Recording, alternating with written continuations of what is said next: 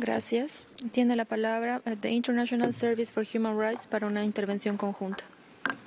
Thank you, Mr. President. This is a joint statement.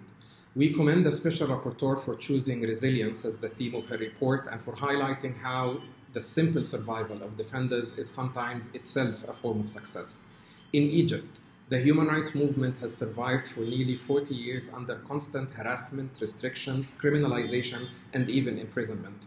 As the High Commissioner noted in his annual update, only last week, four defenders from the Egyptian Coordination for Rights and Freedoms received harsh prison sentences under baseless terrorism charges following an unfair trial by an emergency court that does not allow appeal. Despite repeated calls by the Special Rapporteur, prominent rights lawyer Muhammad Al Baqir remains in prison four years after his arrest inside a courtroom while representing another political prisoner. Almost every independent Egyptian rights defender, including myself, remains under indefinite travel bans and asset freezes for over seven years now, under investigation in the infamous case 173. Survival could indeed be a form of success, but our survival alone is of little consolation to the countless victims of systemic abuses.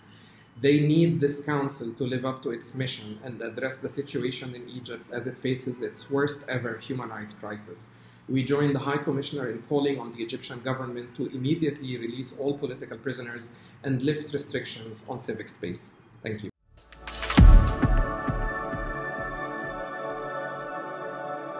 you